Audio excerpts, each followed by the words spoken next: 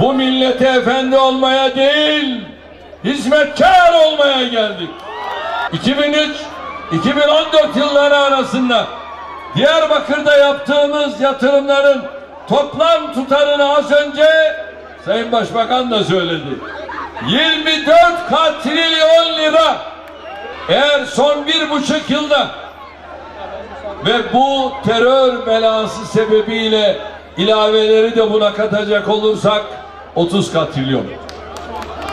Bunlar camilerimizi yakmadılar mı? Bunlar ateist. Bunlar zerdüşt. Bunlardan bir şey olmaz. Bunlar bizim değerlerimizle hareket etmediler, etmiyorlar. Benim Diyarbakırlı kardeşim de, Şırnaklı kardeşim de bunların ne olduğunu anlayacak. Ve er veya geç bunlara gereken dersi sandıkta verecek. Bölücü terör örgütü mensupları 12 Mayıs Perşembe günü burada 15 ton bomba yüklü bir kamyonu patlatarak Tanışık köyünden 16 vatandaşımızın hayatını kaybetmesine yol açtılar mı?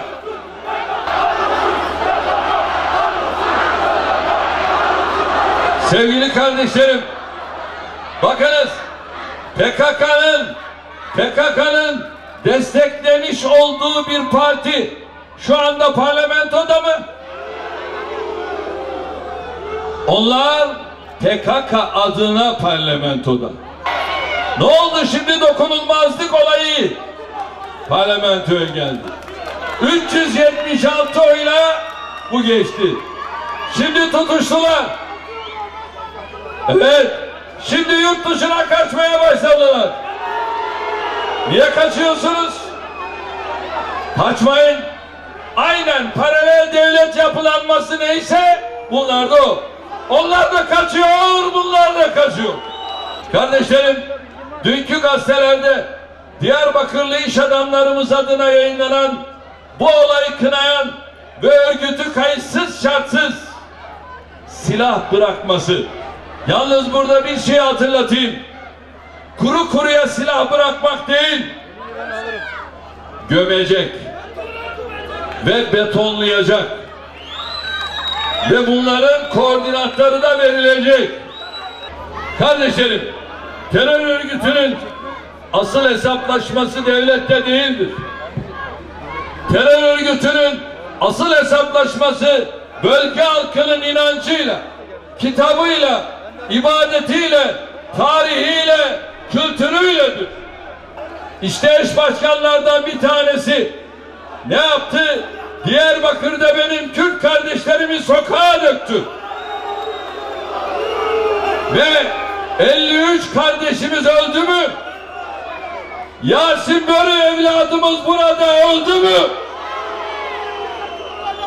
Kaç yaşındaydı Yasin? 15 yaşında. Ne dağıtıyordu? Kurban eti dağıtıyordu. Ah benim kardeşlerim. Üzerinden de geçtiler mi? Ya bunlarda vicdan diye bir şey yok. Bunlar insanlıktan nasibini almamış.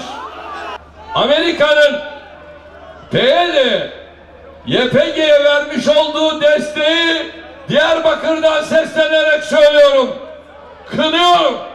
Bize dost olanlar, bizimle NATO'da beraber olanlar kalkıp da kendi askerini YPG'nin işaretleriyle Suriye'ye göndermemeli, gönderemez. Hala YPG'ye biz destek vermeye devam edeceğiz.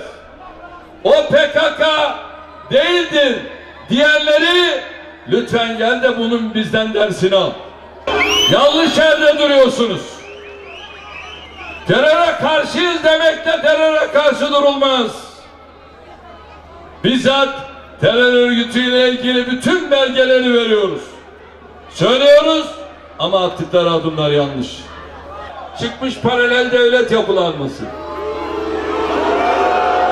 Şimdi onunla ilgili de biliyorsunuz son Milli Güvenlik Kurulu'nda bir karar aldık. Legal görünüm altında illegal faaliyet gösteren ve Fethullahçı terör örgütü olarak anılan dedik ve Milli Güvenlik Kurulu'nun bu tavsiye kararını hükümetimize gönderdi.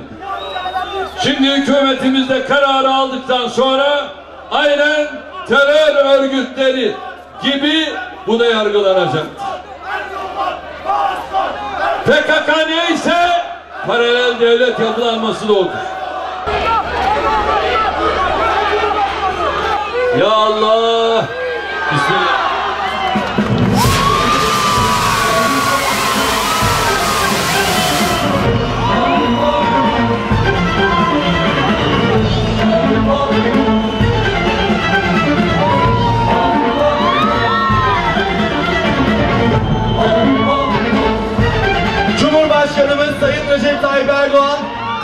Cumhurbaşkanımız Sayın